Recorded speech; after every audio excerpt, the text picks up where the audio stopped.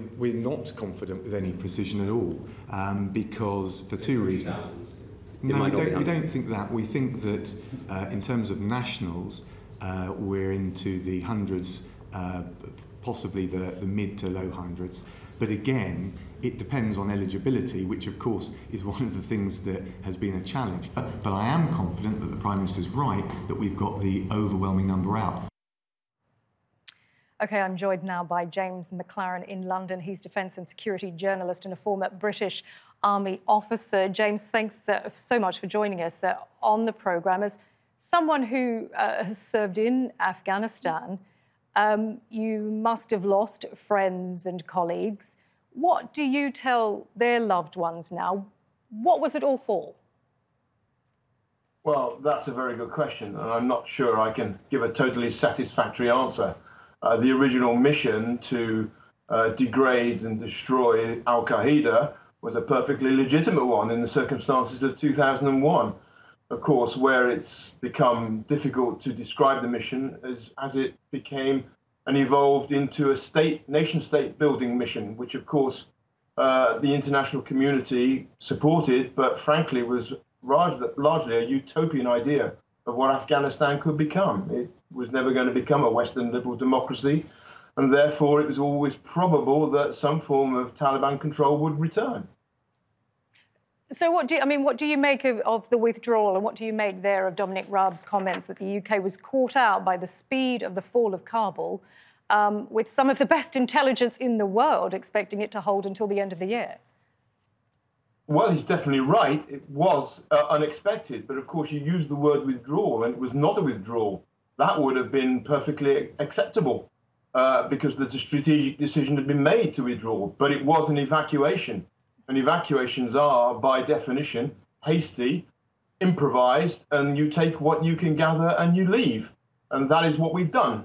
And where we should have had the time to conduct a proper orderly withdrawal, circumstances, principally the Taliban uh, uh advance on Kabul, meant that it became a rather hasty, improvised mission uh, with a fantastic tactical success in terms of delivering what the troops on the ground could do, but of course, they were hopelessly overwhelmed by the inability to, to achieve a mission. And yes, there will be people left behind, equipment, uh, and reputations have been left behind as well in that country.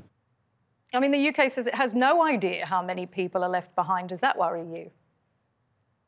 I, think worry is, is the wrong word. It's, it was an evacuation, uh, uh and evacuations will leave items, assets, and people, unfortunately, behind. Of course, now what they will be trying to do is to pick up the pieces of finding out who was eligible and who should have been on some of those flights, who could have been on some of those flights, and why they were unable to access the airport and transport out of there. Uh, it's a sad situation from that respect, but that is the nature of a hastily and improvised evacuation, which should never have been the case. It should always have been an orderly withdrawal uh, if we had understood the true nature of the operational environment there. I mean, you say if we'd understand, uh, understood the true nature of the environment. As defence analyst, what do you think we have learnt from Afghanistan? Well, it's a lesson that we've learnt before, and that is that mission creep uh, is is is not to be undertaken lightly. Uh, and I think a lot of people's ambitions for turning a country with the history of Afghanistan into a modern Western democracy was rather ambitious. Uh, from a military point of view, the original mission to degrade and neutralize Al Qaeda, who were being given support in that country, was a perfectly legitimate military objective. Uh, we should have stayed in that mode, to be honest. But inevitably, perhaps, much of democracy, the many democracies in the West wanted to try and see how we could change uh, a nation with a number of cultural and societal ideas that we don't agree with into something that we can recognize and work with. And perhaps that is where we have fallen foul of our ambitions.